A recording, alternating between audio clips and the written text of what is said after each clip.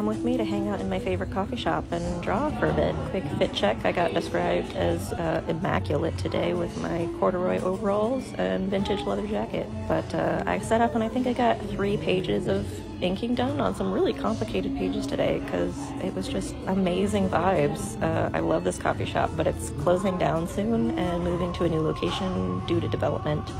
Uh, so I'm just taking up as much time as I can to enjoy this space. I'm going to be quiet here for a bit so you too can enjoy the soundscapes of my favorite coffee shop and enjoy a little look inside as I bust my table.